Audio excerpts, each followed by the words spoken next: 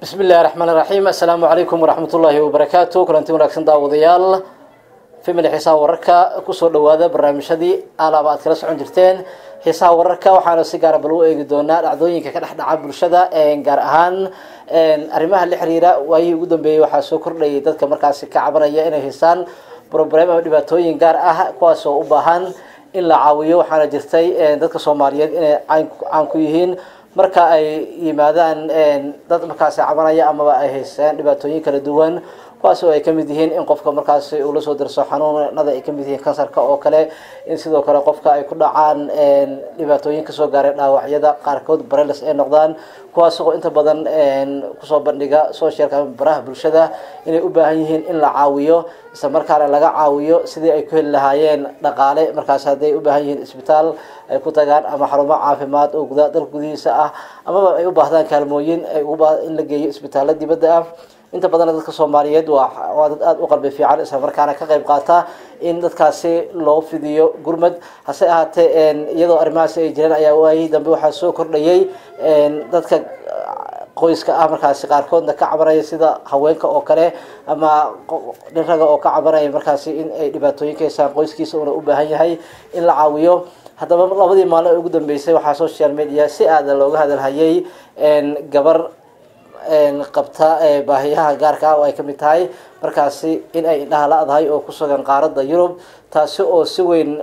u soo jiidatay amaba u gelgeshay qulubta dadka soomaaliyeed ee markaasi daawaday amaba uu soo gaaray muuqaalkooda. Waxa ayna si aada uga cabanaysay inay u baahan tahay in la caawiyo oo loo haysto deyn iyada oo yurub joogta. Deyntaasi oo ay sheegaysay in ay looga baahan yahay guriga ay degan tahay inay ka bixiso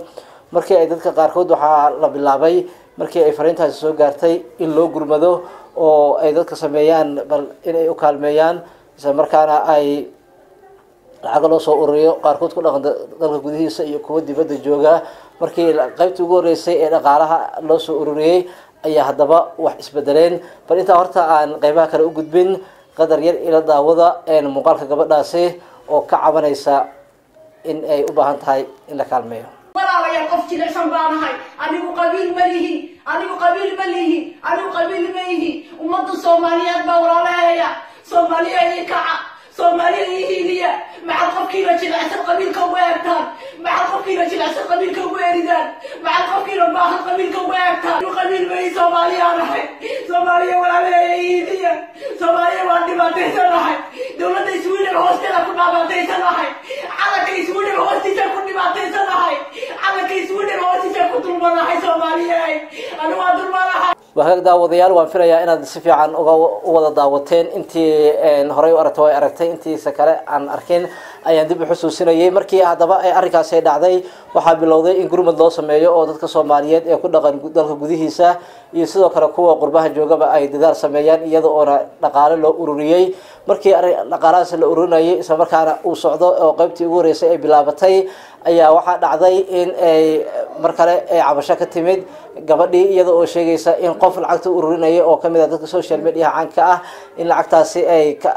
ay ka xayirtay isla markaana aysan u ogoleyn in ay xilligan siiso iyadoo mar kale ka dacwootay oo sheegtay in dadkii lacagta soo dhiibtay ay markaasi u cadaynayso in lacagtaasi aan soo gaarsiinin isla markaana qofkii ay ugu soo hagaajiyeen ay lacagtaasi aysan haatan u ogoleen oo ay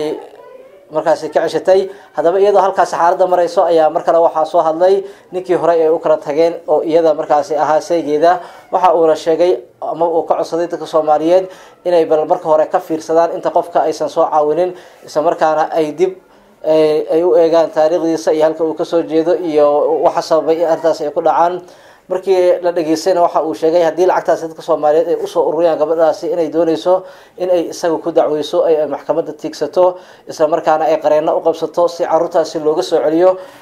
waa caruurtii ay wada dhaleen. Haddii ay dhici weyso markaasi in isagana uu soo ceshto in ay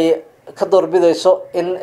qorada gaalada ah ay qaataan ee wadanka ay joogaan kuwaasi oo markaasi quseeya arrimaha qoyska iyo iyo dhallaanka waxa ayna waxa uuna sheegay haddii ugu yaraan carruurtaasi ay ceshan weysana in kuwa gaalada ay siin doonto marka in dadka ay marka hore intay qofka caawinin ay ka baaqsadaan isla markaana ay si aada u hubiyaan arrimahaasi ayuu ka cabanayaa. Bar isla qadar aynu wada daawano codkiisa amaba aan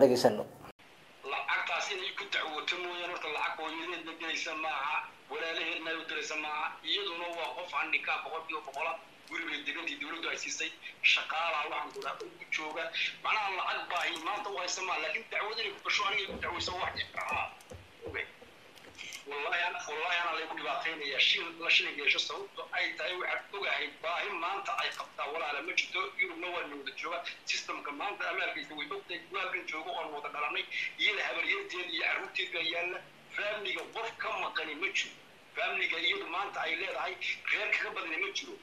qofka ugu sokeeye ee hooyadeed toban tallaaba isu jiraan. Hooyadeed inay gurigeeda gasho bay diiday oy maxaa ka xabmaxarin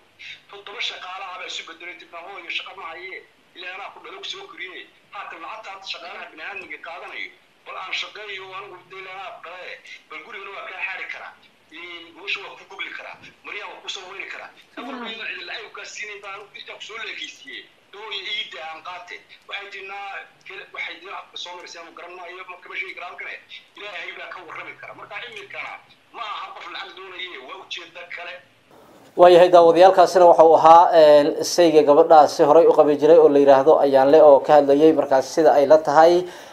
amaba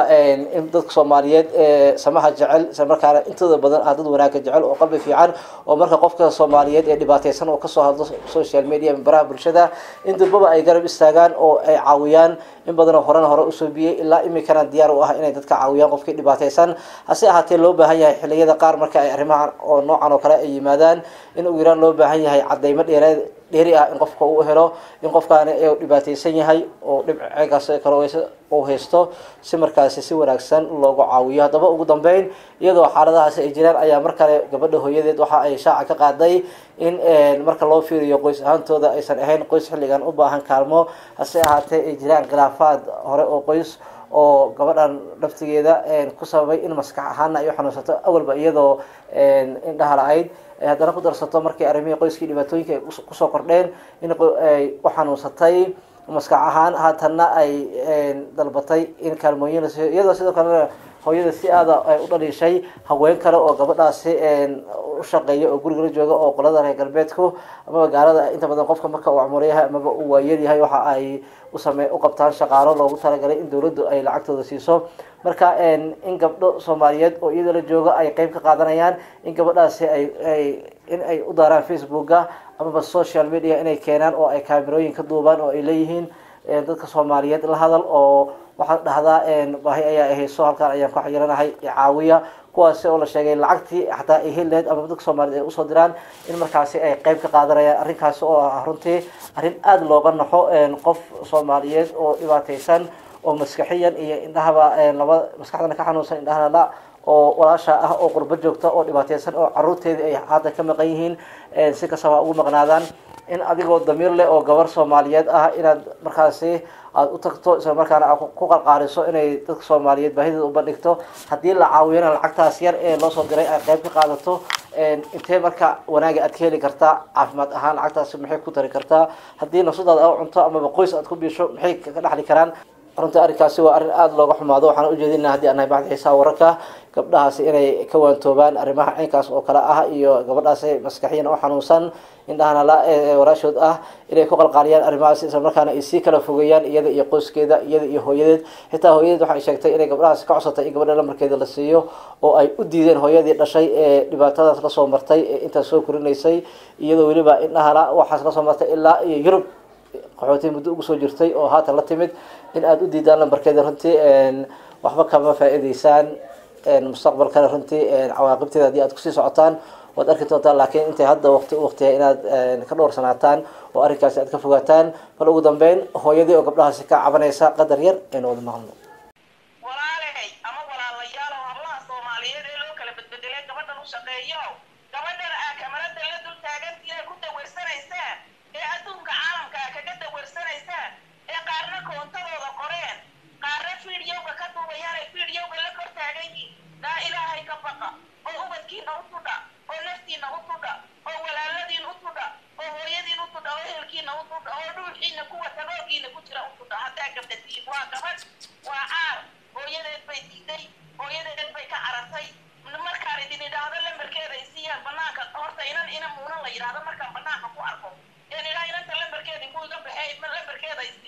ilaahay dhaartay waa wallaahi waa billaahi suma wallaahi waxay ii dilaysay malaa shan bilo waa taydoo kale waa caar anigu sida inantayda u xumaynaya ma xumayn maayo idhi hablaha u shaqaynaya iyo dumarka u shaqaynayo walaalayaal waxaan idinka codsanayaa waa daawadayaal taasina waxay ahayd maama gaarisa oo ahayd asad hooyadeed isla markaana si aada uga hadlaysay bal dhibaatadii ay ku hayaan gabdhahaasi gabadha markaasi ku qalqaalinaya inay social media ka soo muuqato bulshadana ay u soo bandhigta baahideeda si loo caawiyo. Haddana nasiib xumada jirta ay tahay in dhaqaalihii ay u soo diraan ay ama ugu yaraan kala barka qaadanayaan haddii aysan ka wada qaadaninba runtii arrintaasina waxaa ka dhalan karta cawaaqib xumo. Marka marka waxaan rabaa bal inaan dadweynaha na daawanaya unba dhigo sidee hadda qofka loo caawin karaa haddii ay intaasoo dhibaato ay jirto sideena lagu aamini karaa qofka inuu yahay qof ay dhab ka tahay caawintaasi oo arrin kalen aysan jirin. Marka daawadayaal aragtidiina waa filaya inaad ka dhiiban doontaan. Intaas ayaan ku soo gabagabeynaya guud ahaan barnaamijkii yaraa ayaan ku eegeynay dhibaatooyinka ka jira qoysaska gaar ahaan kuwa ku dhaqan qaaradda yurub. Marka ay dhibaatooyin yimaado iyo sida loo caawin karo intaan dib u kulmi doono dhanka kamerada waxau ahaa cabdiqaadir koronto sidaa i nabadgelyo. Wasalaamu calaykum waraxmatullaahi wabarakaatu